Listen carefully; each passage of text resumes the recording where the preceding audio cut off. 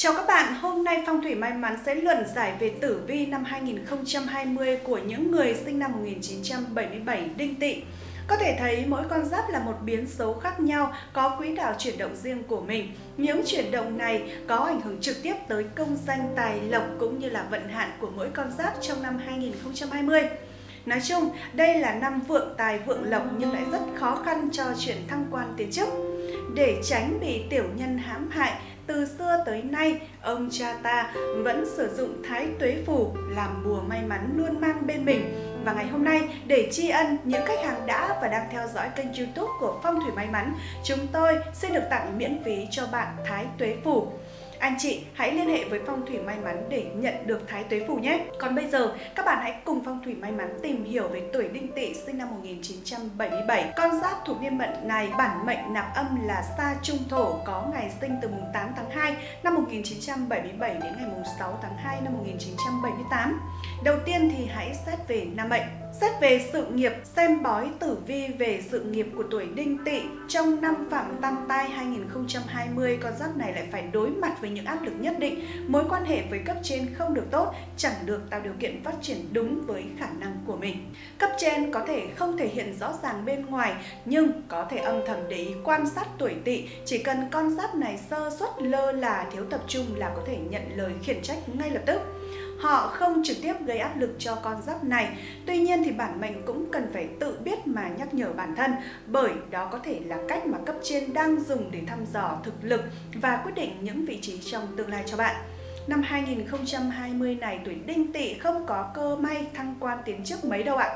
Nhưng bản mệnh đừng vì thế mà buông xuôi, càng nhiều khó khăn thì càng phải cố gắng nhiều hơn. Hãy nắm bắt từng cơ hội dù ít ỏi để chứng minh thể hiện năng lực của mình. Để công việc được suôn sẻ, gặp ít sóng gió, khuyên anh chị nên thỉnh bắt bảo tâm kinh vào vòng tam hợp quý nhân. Vòng tam hợp quý nhân dùng để chiêu quý nhân. Khi được quý nhân giúp đỡ thì công việc hanh thông, thuận đà phát triển. Bắt bảo tâm kinh đem lại bình an, may mắn, gia tăng phúc lộc. Khi phúc lộc tăng thì công danh sự nghiệp cũng theo đà mà phát triển. Hãy nỗ lực để tạo chỗ đứng vững chắc cho mình, tạo nền tảng cho những phát triển sau này. Cố gắng tuân thủ những quy định đã được đề ra, làm việc theo đúng quy trình, đừng tự lách luật mà gây rắc rối cho chính mình, làm hài lòng cấp trên, đáp ứng yêu cầu về công việc thì sự nghiệp sẽ có nhiều cơ hội phát triển hơn. Xét về tài lộc, về đường tài lộc của người tuổi đinh tỵ năm 2020 có thể do canh kim lộ xuất thiên tài mà chính tài sinh chính quan tại tý thủy nên bị cản trở trong công việc chính. Thủy hỏa bất dung khiến cho thu nhập từ công việc chính khó bể gia tăng. Tài lộc trong năm canh tí chủ yếu là những nguồn thu phụ. Thái tuế hóa thiên tài, đầu tư ngắn hạn sẽ có lợi hơn. Đừng tham lam mà đầu tư lâu dài dễ xảy ra bất chắc càng không nên đầu tư mạo hiểm hay là chơi cờ bạc đỏ đen. Nếu có dự định đầu tư thì cần phải tìm hiểu rõ về các quy định của pháp luật, áp dụng đúng quy định, đồng thời xem xét thật kỹ để tránh những tổn thất, thiệt hại nghiêm trọng nên kiếm thêm việc làm thêm, thu nhập từ nghề tay trái sẽ ổn định và vững vàng hơn. Góp ít thành nhiều, tích tiểu thành đại, chăm chỉ làm lụng thì tất cả sẽ có được một khoản kha khá để cuộc sống được dư giả hơn. Để tài lộc tăng thì hãy sử dụng bát bảo tâm kinh. Bát bảo tâm kinh là vật phẩm phong thủy được thiết kế hai mặt, bao gồm mặt trước là hình tượng tám bảo vật của nhà Phật, tượng trưng cho sự bình an, may mắn. Mặt sau là bát nhã tâm kinh và ngũ bộ chú, giúp gia tăng phúc đức, phúc phần phúc phần tăng thì tuyệt nhiên tài lộc cũng tăng, công danh sự nghiệp cũng thăng tiến. Sách về tình cảm xem đường tình duyên năm 2020 của tuổi Tỵ. Năm canh tí này Thái Tuế Tý Thủy ngự tại chính quan tinh, Tuế Can ngự tại thiên tài tinh. Con giáp này có nhân duyên khác phái vô cùng là lý tưởng. Nhân duyên này không phải đào hoa vận, đơn giản là bản mệnh sẽ có nhiều cơ hội để gặp gỡ, tiếp xúc với người khác phái. Do Tý Thủy và Tỵ họa xung khắc nên nhân duyên trời chỉ sai tới đó, việc thành đôi hay không thì hoàn toàn do con giáp này quyết định. Vì thế, dù là nam mệnh hay là nữ mệnh thì tuổi đinh tỵ cũng cần phải học cách bao dung, bỏ qua cho nhau. Hãy nhìn vào mặt tích cực, suy nghĩ lạc quan để có thể đến gần hơn với hạnh phúc của riêng mình. Sự tinh tế và óc quan sát nhạy bén sẽ giúp cho con gấp này khá nhiều trong việc tìm thấy một nửa kia của mình. Nếu không thì con đường tình yêu của người cầm tinh con rắn sẽ còn rất nhiều gập ghềnh và chắc trở. Với những bạn chưa lập gia đình thì cần làm gì để có được sự hấp dẫn hơn với người khác phái? Ai cũng biết chim công là một trong tứ địa linh, long ly, quy phụng, là biểu tượng của sự sang trọng, quý phái, quyền quý cao sang, nên vật phẩm phong thủy nào có hình tượng con công cũng sẽ đem lại may mắn trong tình duyên.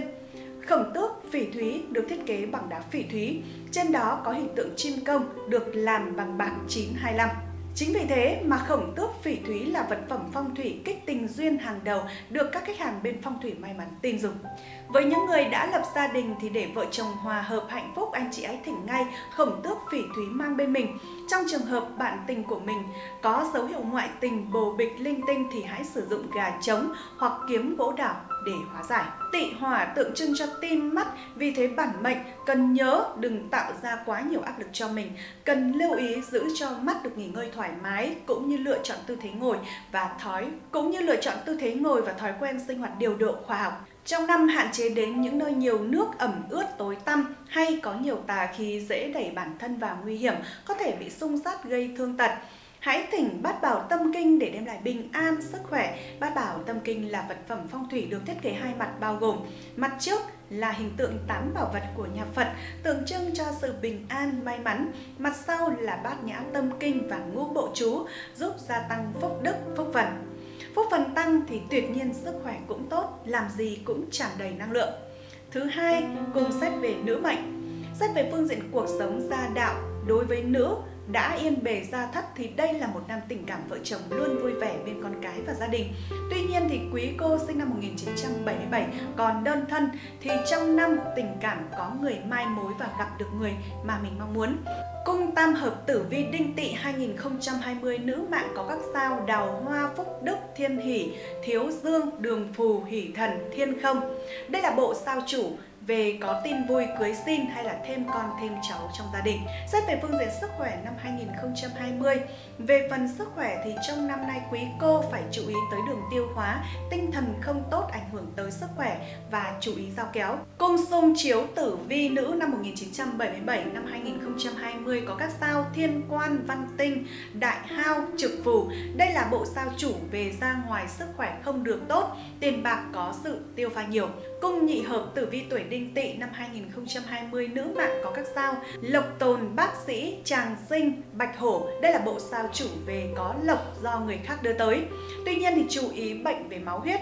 Hãy thỉnh bát bảo tâm kinh để đem lại bình an sức khỏe. Bát bảo tâm kinh là vật phẩm phong thủy, được thiết kế hai mặt bao gồm mặt trước là hình tượng tám bảo vật của nhà Phật tượng trưng cho sự bình an, may mắn. Mặt sau là bát nhã tâm kinh và ngũ bộ chú, giúp gia tăng phúc đức, phúc phần. Phúc phần tăng thì tuyệt nhiên sức khỏe cũng tốt, làm gì cũng tràn đầy năng lượng. Xét về phương diện làm ăn sự nghiệp, công việc làm ăn không được tốt, gặp nhiều khó khăn và công việc phải thay đổi. Cung đặt mệnh tử vi tuổi đinh tỵ nữ mạng năm 2020 có các sao Nguyệt Đức, Lâm Quan, Tiểu Hao, Tử Phủ, Kiếp Sát, phá toái. Đây là bộ sao chủ về công việc làm ăn gặp nhiều khó khăn, tiền bạc có sự tiêu pha, hao tán nhiều. Để cho công việc được kinh doanh của bạn được hanh thông hơn, hãy sử dụng mặt dây thập nhị bát bảo. Thập nhị bát bảo là vật phẩm phong thủy được thiết kế bằng bạc 925. Mặt trước là bát bảo tượng trưng cho 8 bảo vật quý của nhà Phật dùng để tăng phúc đức, kỵ tà, đem lại may mắn. Mặt sau của thập nhị bát bảo là hình tượng của thập nhị địa chi 12 con giáp. Trong cùng là âm dương bát quái có tác dụng chiêu quý nhân từ 12 phương vị giúp cho bạn có được công việc hanh thông, tài lộc tăng tiến. Năm nay dù cho tính đến chuyện đại sự hay là tiểu sự thì đều được thuận lợi do có nhiều may mắn, kinh doanh buôn bán phát tài, làm nông thì được mùa được giá. Tổng quan tử vi tháng của tuổi Tỵ năm 2020, tử vi tháng 1 năm 2020 âm lịch, xem tử vi tháng riêng năm Canh Tý tuổi Đinh Tỵ vận trình tổng thể bình hòa. Tuy nhiên có thêm khá nhiều điều phiền não trong công việc và cuộc sống hàng ngày. Xét về sự nghiệp của bản mệnh trong năm 2020 này, tuổi đinh tỵ có thể dựa vào năng lực của chính mình để giành được sự trọng dụng của cấp trên. Tuy nhiên thì sự ưu ái của lãnh đạo có thể khiến bạn bị đồng nghiệp đố kỵ và tìm cách hãm hại. Nên học cách sống khiêm nhường, đừng quả ra quá là nổi trội. Trong cuộc sống thì tuổi tỵ không chỉ có gặp khó khăn trong việc giải quyết các sự cố mà còn thường bị thực tế tạt cho gáo nước lạnh con giáp này cần phải giữ được sự quyết tâm và kiên trì của mình, dừng thái độ lạc quan để đón nhận những thử thách của cuộc đời. Tử vi tháng 2 năm 2020 âm lịch Xem tử vi tuổi tỵ tháng 2 âm lịch, đường tài lộc có nhiều bước tăng tiến bất ngờ. Tuy nhiên, vận trình tình duyên của bản mệnh lại xa sút đến mức thảm hại, thậm chí có thể nói là chưa bao giờ tệ tới như vậy. Trong tháng này thì bản mệnh có nguồn thu nhập phụ khá tốt, có thể may mắn tới độ mua vé số hay là rút thăm trúng thưởng cũng có tiền về tay, các khoản đầu tư cũng mang lại nguồn thu khả quan, cuộc sống nhờ thế mà dễ thở hơn nhiều. Về chuyện tình cảm thì nếu yêu xa thì con giáp này sẽ gặp phải khá nhiều vấn đề trong mối quan hệ của mình, thường xuyên tranh cãi, khả năng chia tay hay là thất tình khá lớn. Bản mệnh nên kịp thời điều chỉnh tâm trạng, xoay chuyển sự tập trung của mình sang những chuyện khác. Đừng để tổn thương trong tình cảm ảnh hưởng đến toàn bộ cuộc sống của mình tử vi tháng 3 năm 2020 âm lịch. Tháng 3 âm lịch thì tuổi tỵ vận trình khá ổn định, nhất là nửa cuối tháng, tiềm năng phát triển cực lớn. Con giáp này có thể có cơ hội thể hiện năng lực toàn diện của mình, giành được sự chú ý của cấp trên, đạt được sự tín nhiệm của khách hàng, sự nghiệp hanh thông rộng mở. Vào cuối tháng thì bản mệnh có thể có cấp trên vào cuối tháng, bản mệnh có thể được cấp trên xem xét, cân nhắc lên vị trí tốt hơn nên tranh thủ bồi dưỡng, học hỏi thêm kiến thức và kỹ năng cho mình. Bản mệnh cần phải tập trung tinh thần đồng đội hết mức có thể, như vậy hiệu quả làm việc mới được đảm bảo, giúp lợi, giúp lợi nhuận thu về đạt được mức lớn nhất. Tử vi tháng 4 năm 2020 âm lịch. Xem tử vi tháng 4 2020 âm lịch tuổi Tỵ công việc vẫn khá ổn định, tuy nhiên cần phải lưu tâm hơn đến vấn đề sức khỏe. Bản mệnh không gặp phải vấn đề gì quá lớn trong công việc tuy đôi lúc có những sai sót nhỏ nhưng về tổng thể vận trình thì vẫn khá tốt, được cấp trên và quý nhân luôn nâng đỡ. Có điều xét về phương diện sức khỏe thì con giáp này cần phải lưu ý đến mắt, nên thường xuyên giữ vệ sinh cho đôi mắt, không nên tiếp xúc với các thiết bị điện tử trong một thời gian quá dài. Đồng thời nên lựa chọn các loại thực phẩm tốt cho mắt để cải thiện chất lượng của đôi mắt. Tử vi tháng 5 năm 2020 âm lịch. Người tuổi tỵ trong tháng 5 âm không được may mắn cho lắm. Dù là công việc tình duyên hay là tài lộc thì đều không như ý Nhất là đường tình duyên vô cùng ảm đạm, mọi chuyện lộn xộn khó giải quyết. Trong chuyện tình cảm, tháng này người tuổi tỵ có phần nghi ngờ quá mức vì thế mà thường xuyên gây sự tranh cãi với người ấy, khiến cho đối phương cảm thấy mệt mỏi và chán nản, khoảng cách giữa hai người cũng ngày càng xa hơn. Bản mệnh nên học cách tin tưởng người mình yêu. Đừng cho sự nghi ngờ giết chết tình cảm, hãy tôn trọng người luôn ở bên mình. Tử vi tháng 6 năm 2020 âm lịch Coi bói tử vi tháng 6 âm thì người tuổi đinh tỵ sẽ có nhiều biến động về sự nghiệp và tình duyên Bạn cảm thấy hoang mang mờ mịt về tương lai phía trước Con giáp này không tập trung khi làm việc do đó mà mắc phải không ít sai sót bị cấp trên phê bình, khiển trách nhiều lần nên tự kiểm điểm bản thân, hiểu rõ mục tiêu mình đang theo đuổi. Cần định hướng rõ mục tiêu mình đang hướng đến, nếu còn cảm thấy mơ hồ thì nên xin sự giúp đỡ của bạn bè, người thân để không lầm đường lạc lối.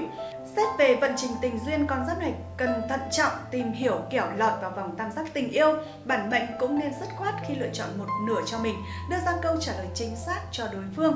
Đừng để người khác phải chịu tổn thương vì quyết định sai lầm của mình. Từ vi tháng 7 năm 2020 âm lịch, tháng cô hồn không ảnh hưởng gì đến sức khỏe của con giáp này. Bản mệnh không phải lo về sức khỏe, nhưng lòng dạ dối bời khi chuyện tình cảm chẳng đâu vào đâu. Người đã kết hôn thì cảm thấy nhàm chán nhạt nhẽo với cuộc sống hôn nhân, nhưng cơn sóng tình không còn thường xuyên xuất hiện. Sự ổn định của gia đình lại khiến cho bản mệnh sợ hãi vì mình dần mất đi tình yêu như trước. Con giáp này nên tìm cách để hâm nóng lại tình cảm đôi lứa, tạo nhiều cơ hội để khơi gợi lại những kỷ niệm xưa. Hãy tạo ra những niềm vui bất ngờ và sự lãng mạn ấm áp để tình yêu được sống lại. Thời điểm này trong năm thời tiết khô nóng, bản mệnh dù già hay trẻ thì cũng cần phải lưu ý chuyện ăn uống, không nên ăn những đồ lạnh quá nhiều, dễ hại cho dạ dày. Tử vi tháng 8 năm 2020 âm lịch, tháng 8 năm 2020 âm lịch tuổi Đinh Tỵ có được những phát triển tốt trong sự nghiệp. Nửa cuối tháng thì sẽ thấy được sự tăng tiến rõ rệt, sự nghiệp đi lên tỷ lệ thuận với tài lộc thu về tay, chẳng cần phải lo lắng về vấn đề tài chính.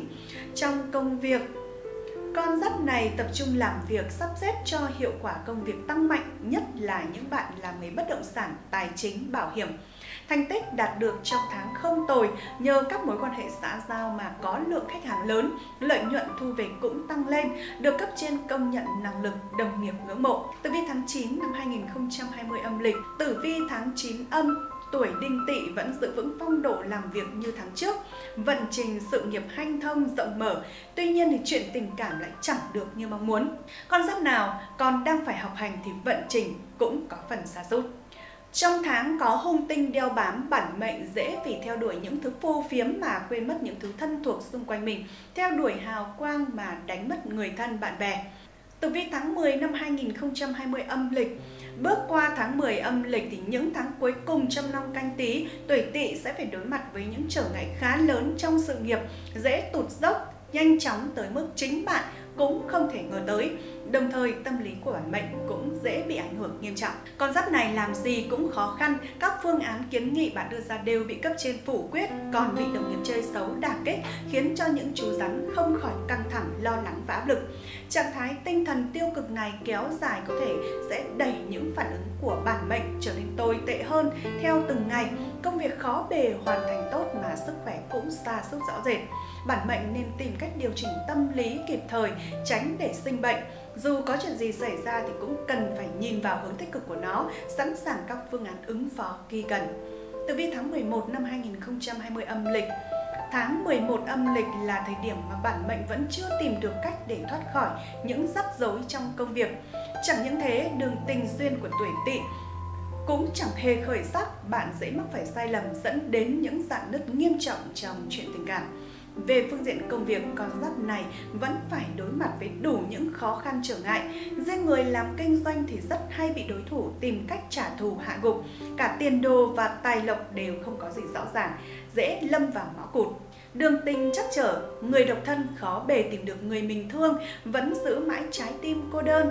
Người đang yêu có thể nảy sinh mâu thuẫn, hiểu lầm với đối phương, thậm chí có thể phát hiện ra chuyện ngoài tình mà tình chia đôi ngả. Từ vi tháng 12 năm 2020 âm lịch, người tuổi tỵ trong tháng cuối cùng của năm canh tí sẽ có được những bước lội ngược dòng ngoạn mục. Dù là chuyện công việc, tiền bạc hay là tình cảm thì đều khá suôn sẻ thuận lợi. Trong công việc, con giáp này được quý nhân nâng bước cấp trên và đồng nghiệp ưu ái giúp đỡ sự sự nghiệp thăng tiến như diều gặp gió, có nhiều khả năng tăng lương thăng chức vào cuối năm này. Truyền tình cảm phát triển khá lý tưởng, vượng vận đào hoa. Những người còn độc thân có thể dựa vào sức hấp dẫn của chính mình để thu hút sự chú ý của người khác phái. Bản mệnh dễ gặp được người ưng ý trong các buổi liên hoan, hội họp cuối năm. Đối tượng của bạn có điều kiện không tồi, hãy năng tham gia các hoạt động xã hội để tăng thêm cơ hội. Hóa giải theo phong thủy vi tinh năm 2020. Tử vi tuổi Tỵ 2020 cho thấy con giáp này đang gặp khó khăn trong việc phát triển sự nghiệp của mình. Tài lộc tới tay không ít nhưng giữ lại cho mình chẳng được là bao nhiêu. Trong năm dễ gặp chuyện bất bình, thậm chí có thể vướng vào vòng lao lý. Tình cảm gia đình cũng đang không được như lý tưởng cho lắm, tồn tại nhiều mâu thuẫn bất đồng có thể bằng mặt mà không bằng lòng. Áp lực lớn ảnh hưởng nhiều tới sức khỏe, con giáp này cần phải chú ý để giải tỏa áp lực cho mình. Theo phong thủy năm canh tí thì phương vị đông bắc là đào hoa vị là vị trí quyết định nhiều đến chuyện tình cảm của gia đình. Mệnh chủ nên giữ cho vị trí này sạch sẽ, gọn gàng để cát khí vượng, gia đình được êm ấm, hòa thuận. Người mệnh này thì cũng có thể đặt một số vật phẩm vượng đào hoa ở phương vị này, ví dụ như đôi chim uyên ương, quả cầu thạch anh hồng. Có thể tham khảo thêm các mẹo phong thủy tình yêu hôn nhân để tình cảm ngày càng thêm vượng. Ngoài ra thì cung đông nam có sao lục bạch là sao thoái vận bay vào. Nếu bàn ghế giường ngủ nằm ở hướng đông nam thì trong năm công việc dễ gặp khó khăn trở ngại.